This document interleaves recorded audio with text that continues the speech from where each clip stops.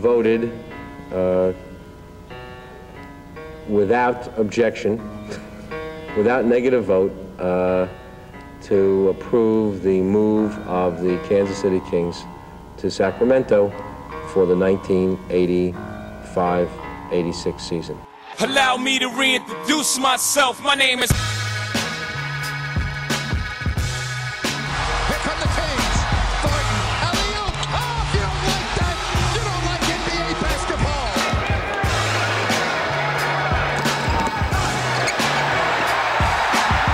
Finds Edney.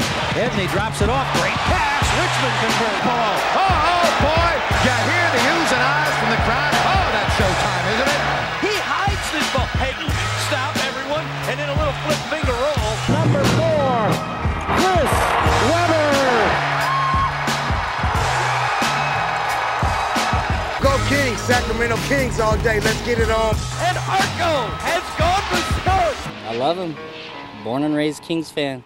The fans here are great. You, you've seen the, the noise, the levels of fan appreciation throughout the years. You don't see any truer fans uh, than Sacramento, and, and when you have Arco rocking, I, I think any team that comes in here is a tough place to play. It's been actually a part of my life more than most people. I'm ill. I'm ill.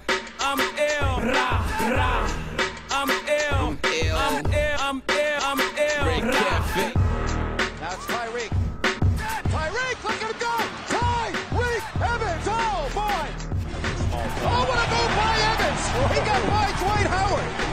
that was terrific.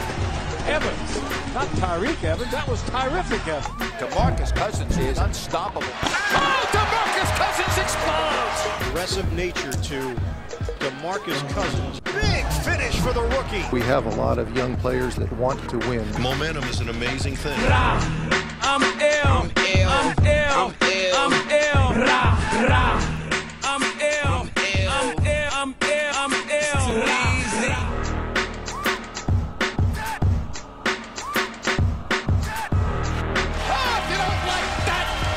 Black Kings basketball.